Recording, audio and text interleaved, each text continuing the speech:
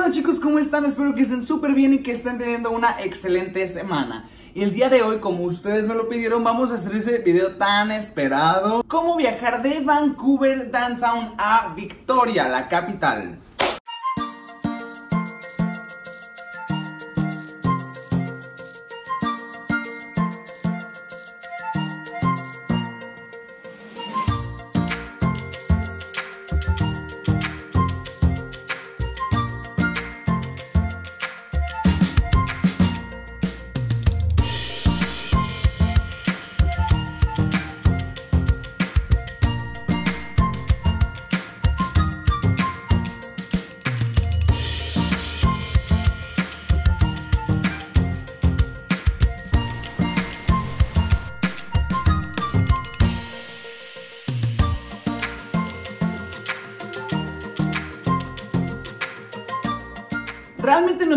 Que tú digas, wow, no manches, voy a viajar horas, voy a hacer un chingo de desmadre. Sí es un poquito de desmadre, pero no hay nada que no se pueda disfrutar dentro de este viaje. Es decir, todos los pasos que vamos a recorrer son disfrutables en diferentes sentidos. Vistas, trayectorias, tiempos, eh, medios de transporte, etcétera. Ya lo vamos a ir viendo más adelante. Bueno, amiguitos, pues antes de continuar les quiero recordar que estamos a nada, a nada hacia a una diarrea del peso ideal. No, no se crean, estamos a nadita, nadita, nadita de llegar a los 10 mil suscriptores en este canal. Así que este es el momento perfecto para irte aquí abajo y dejar tu hermoso subscribe para que podamos ser una familia más grande. En Instagram ya llegamos casi a los 16 mil, así que si también te interesa ir para allá, diario subo Insta Stories acerca de todas las cosas que hago en la calle, en la escuela, en el trabajo, en mi casa, etcétera, etcétera, etcétera. Por si te quieres entrar de la vida de un mexicano inmigrante en Canadá, Instagram es la mejor opción. Bueno, amiguitos, pues continuando con el video, yo he ido a Victoria tres veces en mi vida. La verdad es uno de los lugares turísticos que más me gusta. No sé por qué.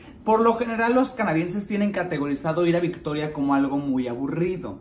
Pero les voy a decir por qué. Cuando las personas aquí en Vancouver tienen dinero, negocios, o son gente abolengo, gente que ya tiene muchísimas generaciones aquí en, este, en esta parte del país, tiende a viajar a Victoria para retirarse. Es decir, que Victoria está llena de, de gente, vamos, mayor, adultos mayores, de la tercera edad, gente, no sé, arriba de los 45, 50 años. Y por lo general no hay muchos lugares a donde ir de fiesta o donde ir a echar desmadre o cosas como la que les gusta a los jóvenes. O nos gusta. Así que realmente muchas personas no eligen Victoria por ese lado. Pero a mí se me hace como que juzgan muy rápido. Porque en realidad Victoria tiene rinconcitos muy hermosos. De los que te puedes enamorar y la verdad es que está muy padre. Para mí en lo personal, yo, George, no se me hace que Victoria lo tengas que conocer, por ejemplo, en un fin de semana completo, así que viernes, sábado, domingo, Airbnb, la madre y todo. Sí, sí puedes dividir tus tiempos para que en tres días puedas conocer todo, pero también yo creo que en un día y medio, un día, si bien lo aprovechas, puedes alcanzar a conocer bastante. Como para los turistas que vienen así de que yo nada más puedo tardarme un día aquí, un día acá, porque tienen como su tiempo muy recortado o es una semana para conocer pues todo lo que puedan de aquí, de esta parte de Canadá, yo creo que la mejor opción sería en un día puedes hacerlo. Primero que nada vamos a tomar el Skytrain en el que tú llegaste a Downtown, pero lo vamos a tomar de regreso. Es decir, como si tú ya fueras al aeropuerto. Un poquitito antes del aeropuerto, si mal no recuerdo, tres estaciones antes del aeropuerto, está una estación que se llama Bridgeport. En esta estación te vas a bajar y vas a bajar unas escaleras. En cuanto bajes las escaleras de la estación del Skytrain, a tu mano izquierda vas a encontrar tres gates donde separan tres diferentes camiones y del lado derecho otros tres. De tu lado izquierdo, en el gate de en medio, ahí se estacionará el camión que te va a llevar directamente a la estación de ferries. El primero fue el Skytrain que tiene un costo de 2 dólares con 95, pero ojo amigos, porque luego van a decir, Jorge me dijo que 2 dólares con 95 y me salió más caro, no mames, que no sé qué. No, sí cuesta 2 dólares con 95 una zona.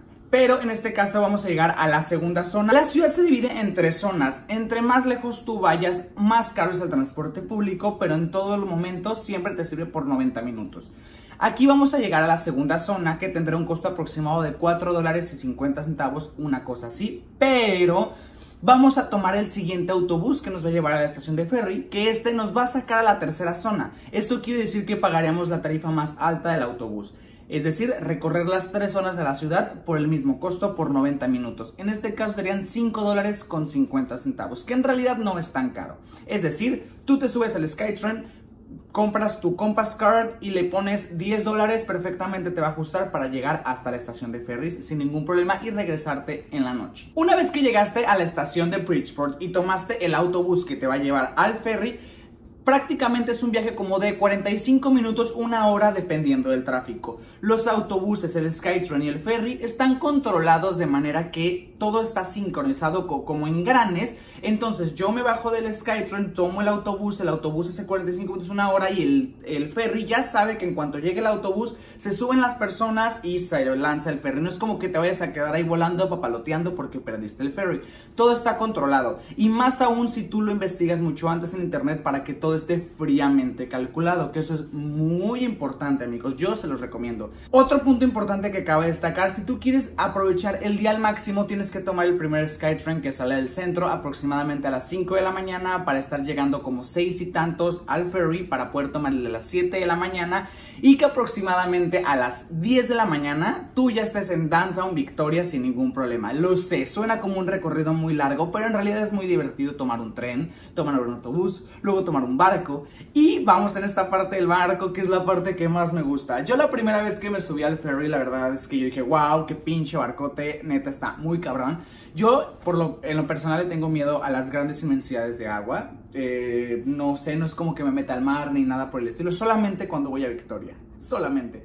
El ferry es muy, muy, muy grande, tiene una capacidad para, o sea, miles de personas, está increíble, pueden meterse miles de carros en la parte de abajo, hay tres niveles para poner el estacionamiento del carro y hay otros tres niveles donde están todos los camarotes, donde, están los restaurantes, donde están las áreas de juegos para niños. Muchas personas se aburren en el ferry porque dicen, wow, dos horas en un barco en alta mar, mm, como que no me gusta. Las vistas, amigos, son increíbles, increíbles. Y pues tenemos restaurantes adentro, tenemos un restaurante de buffet, tenemos un estilo Starbucks, tenemos un centro de hamburguesas, hay un área de juegos como estilo diversiones muy, tiendas de souvenirs, hay dos tiendas de souvenirs y la verdad es que las vistas son increíbles. Y por si fuera poco, tienes la oportunidad de salir a, la proa. La, verdad es que no sé cómo, cómo se llama.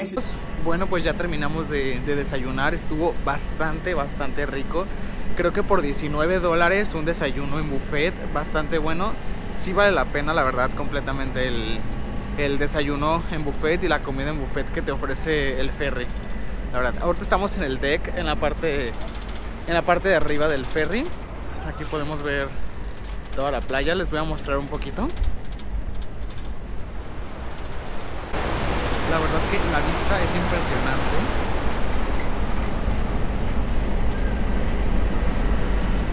Sales y puedes estar como alrededor del barco y hay sillas como para ver eh, el, para tomar el sol, para ir este, viendo la naturaleza. Por lo general hace mucho frío en el mar, pero la verdad es que la experiencia es increíble. Si encuentro unas fotografías se las voy a dejar por aquí. Todo esto amigos, yo sé que está diciendo, sí, sí, ya hablaste demasiado, ahora dime cuánto pinches cuesta. El promedio de costo amigos es de 17 dólares con 50 centavos de ida y 17 dólares con 50 centavos de regreso y pueden las personas de la tercera edad y los estudiantes pagar un poco menos como 14 dólares con 50 centavos. La verdad es que no está nada mal para llegar a Victoria capital de Vancouver. La verdad es que a mí se me hace bastante considerable. La organización de este barco es muy buena, te avisa cuando ya va arriba del barco y tú tienes que ir acercando las puertas de salida, la gente hace filas inmensas para salir muy ordenadamente y la verdad es que eso se me hace muy muy increíble. Tú llegas, te formas, ya comiste, ya bebiste, ya viste, ya te tomaste fotos, llegó el momento de eh, salir del barco. El barco, eh, bueno,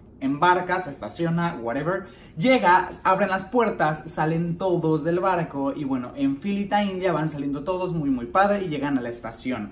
En esta estación hay dos opciones. Supongamos que tú rentaste un carro, que ahí va la información, también puedes rentar un carro y entrar al ferry en el caso de que tú vayas, no sé, con cuatro amigos y digas, bueno, pues a mí me sale más económico rentar un carro entre cuatro personas. Pagan 16 dólares por la entrada de cada uno para entrar al ferry y pagan 55 por el auto, pero se van a ahorrar el autobús, el tren y el siguiente autobús. Tú ya sacando tus cálculos puedes ver si te conviene o no. Cuando van cuatro personas o seis personas en el caso de una camioneta, Pues yo creo que sí les convendría rentar un auto si es que vienen como turistas, porque rentar un auto aquí en Vancouver pues es muy fácil, ¿no? Entonces creo que va a ser una buena opción. En caso de que sean dos o tres personas, les conviene pues pagar sus pasajes y pasar un muy buen rato. Supongamos que si fuiste tú en autobús, bueno, te bajas y tienes aquí la opción de tomar otros dos autobuses. Uno que te va a llevar a los jardines de Victoria y otro que te va a llegar a Downtown Victoria. Este autobús tiene un costo de 5 dólares hasta el momento en el que yo fui. Probablemente ahorita por el nuevo año, ponte tú que cueste 5.25, una cosa así, no estoy muy seguro, pero no creo que pase de 5.50. Igual que en Vancouver. A diferencia de Vancouver de Victoria, en Victoria no hay Compass Card, es una tarjetita como un poco más sencilla la que utilizan los, las personas que viven en Victoria porque bueno, es mucho más pequeño, hay más control y pues no sé, pues yo no vivo allá. Pero sé que no es la misma Compass Card. Así que tienes la oportunidad de pagar tus 5 dólares. Ojo, que los camiones no dan cambio y no aceptan billetes. Entonces tienes que llevar cambio, por favor, para todas las personas que vayan, lleven cambio, lleven monedas. Es muy raro, es muy raro que aquí en Canadá las personas traigan como cambio en sus bolsas. Por lo general todo se paga con tarjeta, todo. Pero en este caso para ese camión sí necesitas cambio y yo estuve sufriendo pidiendo cambio en las tienditas. Vaya que fue una odisea. Así que les recomiendo que traigan el cambio de las personas que van a subir. Tengo entendido, yo me acuerdo que la segunda vez que fui íbamos cuatro personas y pagamos con uno de 20 y el chofer no la hizo de pedo, pero bueno, no se arriesguen, mejor lleven cambio, lleven monedas, morraya, morlacos, como le quieran llamar. Una vez que te subes a este autobús, hace un recorrido de 45 minutos más, yo sé, 15 minutos del Skytrain, 45 minutos del segundo camión, 2 horas del ferry, más otros 45 minutos. Yo sé que suena muchísimo tiempo, pero todo el camino se disfruta, las vistas son hermosas. Y si vas con amigos o con tu pareja, neta, te la pasas súper bien. Después de esos 40 minutos, amigos, vas a llegar a Downtown Victoria. Te vas a bajar justamente en el centro y del lugar donde te baja el camión al final de, de la avenida principal, a tu mano derecha vas a encontrar un gran pequeño edificio. no, no es tan grande, pero sí se ve bastante. Es muy notorio el edificio que es para turistas y tiene más de mil tipos de diferentes de trípticos con información. Para los que no saben qué es un tríptico, bueno, un flyer, información para turistas, lugares a donde ir, etcétera, etcétera, etcétera. Tomando la información a la que íbamos, amigos, el autobús que tomaste en la estación de ferries para ir a Victoria, ese autobús, los 5 dólares que ya pagaste, los 5.25, es viaje redondo. Puedes utilizarlo también para regresarte Supongamos amigos que ustedes ya estuvieron conociendo, ya estuvieron viendo muchas cosas dentro de Victoria y todo está feliz, contento, a gusto, en paz. Yo les recomiendo que estén verificando las salidas de los ferries ese mismo día si el mismo día te quieres regresar. Supongamos que el ferry sale a las 9, tú tienes que contemplar que son 45 minutos, una hora en camión, así que tendrás que tomar tu camión en el centro de Victoria a las 7.45 para que no haya ningún problema. Yo te recomendaría una hora y media para que no vaya a ser de que a Chuchita la bolsearon y de que algo pasó y me quedé como homeless ahí y que no sé qué. Entonces siempre tienen que estar al pendiente de la app de Translink o tienen que estar al pendiente de las salidas de los ferries y de los camiones. Yo por lo general, cuando llego a las 10 de la mañana, 11, 12, 1, 2, 3, 4, 5, Ponte tú que 6 horas está perfecto. A las entre 5 5 y media puedes tomar el autobús de regreso para poder tomar sin ningún problema el ferry de las 7, por ejemplo, y llegar a las 9 y tantos a Vancouver. Tú tomarías de regreso el autobús ahí en Vancouver en la estación de ferries que te va a llevar al Skytrain. Yo les doy el consejo de que todo lo hagan un poquito más temprano porque por experiencia propia, cuando tú vas llegando en el ferry a Vancouver de regreso, la gente, o sea, está lleno y la gente sale corriendo porque hay pocos autobuses esperando a las personas. Tienen a ser dos o tres autobuses, pero son muy pocos para la cantidad de gente que se baja del ferry. Entonces, tienes que ser rápido, ser inteligente y tomarlo a buenas horas para que no te suceda esto. Llegas al ferry, te bajas corriendo, te subes al autobús, este autobús te va a llevar al Skytrain donde inició toda la travesía y tomarías ese Skytrain. Hay muchas personas que deciden regresarse en el ferry en el último, que es el de las 9 o 10 de la noche. Recuerden amigos que ustedes estarán llegando a las 11 o 12 y tienen que contemplar que falta una hora todavía de regreso de la estación de ferries al Skytrain y si no alcanzan el último Skytrain tendrán que tomar taxi, que ya le pasó a uno de mis amigos y los taxis aquí en Vancouver, amigos, lo más caro de la pinche vida, no tomen taxis, no consuman taxis porque es carísimo y no es el mejor servicio del mundo. La verdad es que tengo que ser muy honesto, no les voy a mentir, no usen taxis, no se los recomiendo. Voy a hacer un video especial de no taxi Vancouver, te. Y aquí, ojo, no existe Uber, no hay Uber. Para las personas que me han preguntado, no hay Uber. Hay Uber Eats, pero no hay transporte de servicio privado Uber. Así que contemplen sus tiempos. Si encontré fotografías, pues ya las puse en el transcurso de todo el video. Si no las encontré, amigos, les voy a dejar aquí links para que puedan revisar todo lo hermoso que puede ser conocer la capital de Vancouver. Y en total de todo esto, amigos, si tú dices, güey, me perdí entre tu tanta pinche chilladera y habladera, amigos, el costo general para ir y regresar y comer allá a gusto y tomarte algo, no te vas a gastar más de 150 dólares por persona. La verdad es que no, no creo que te los gastes. Porque son, son 32 dólares de viaje redondo. Acá ponte que los transportes públicos hayan sido 15 dólares, son 40, 50, 55, 57, más el otro son 57, 62. Ya van 62 dólares de transportes y de todo. Ida, ponte que de una comida te puedes hacer unos 30, 60, 70, 80, 90, ya son 92 dólares. Y ponte tú que te quieras comprar algo, que quieras la nieve, que quieras el refresco, una cervecita, le dices otros 20 dólares, apenas van 110 dólares, 112 dólares. O sea que realmente si le avientas 150 dólares este viaje, yo creo que va a estar muy bien. Para las personas que no saben cuántos son 150 dólares canadienses, los voy a dejar aquí en pesos mexicanos y en dólares americanos para que tú hagas la conversión.